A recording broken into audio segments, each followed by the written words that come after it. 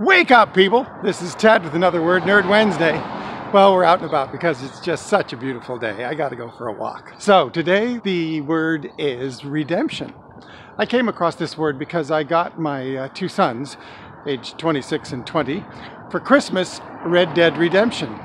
And I thought about the word redemption. There's Shawshank Redemption, Red Dead Redemption. But what's the word redemption mean?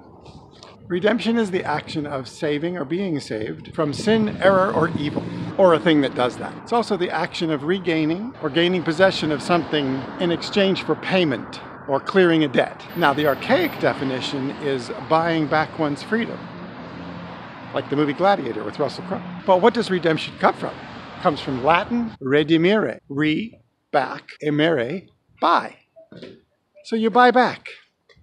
You buy back your freedom, you buy back your integrity, you buy back your soul. So it's a cool word. You can redeem the unused portion and get a full refund of your money. Okay, so that's the word for today. Don't forget to like and subscribe and ring that bell so you'll be notified every time I upload. And just remember, guys, it's never too late to redo, restart, reboot, rebuild, rebirth, rekindle your life. You can always turn it around and go in any direction you want. Let's create a renaissance on Earth. Oh, and one more thing.